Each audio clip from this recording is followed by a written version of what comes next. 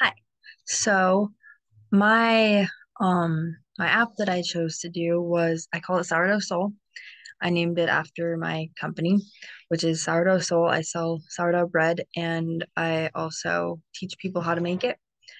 Um, so the purpose of my app is to allow users to um either use the bread calculator to um set up a time, define what flour they're going to use, what bread they're going to be making, and have a timer that can tell them when to do each step. Because when you're making sourdough, you have certain times you have to turn it, you have to shape it. So it's a little complicated. This helps take away that. And then another part is the aspect of community that you can develop with sourdough.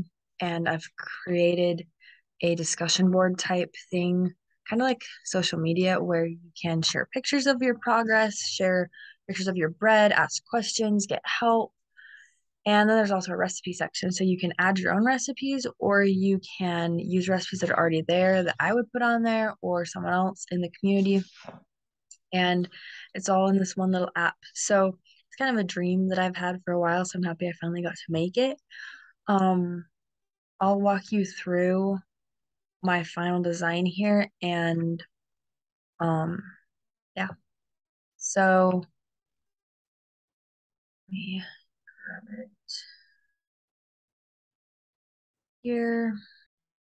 All right, so I got it. Um, I went through a lot of different testing phases with this. Um, and even after I got it all done, I still found more things I would really like to change. So I understand better now why app developers have so many updates all the time.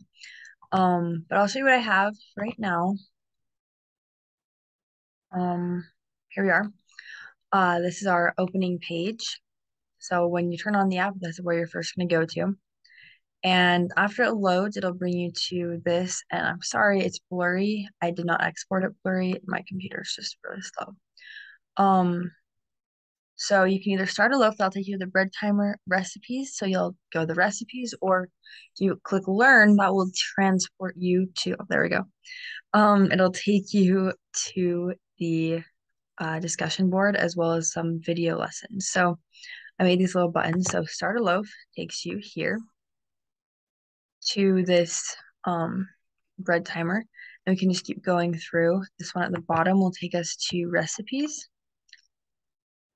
Um, this little heart will bring us to a um, kind of an internal landing page where um, you can either do video tutorials or the Soul Society. That's what I call my discussion board.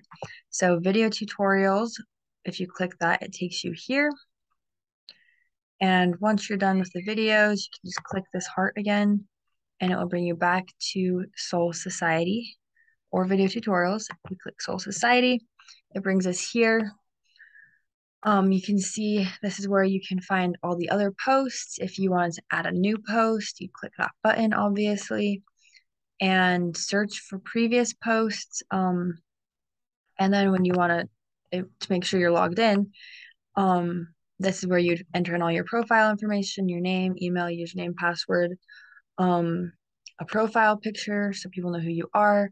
And this little hamburger icon right here will make this um, tiny screen pop up. We can change settings, such as making it a light or a dark screen, um, the language, notification button, and then if you have any uh, questions, you can check here if you're in a pinch and need a question answered fast. Uh, this is the frequently answered questions page. And once you're here, you've got all kinds of different things. I have this one opened up just to demonstrate what would happen on this page. So that is my app in a nutshell. Um, some of the biggest changes I made were to the uh, Soul Society page. Um, I got a lot of help with that one. Um, my sister and my mom really, uh, there's, you need to change this, you need to change this, you need to change this. So I had so many edits done on that page, but overall, I'm really pleased with where it's going. And I'm super happy that I've had this experience because I have learned a lot. Thank you.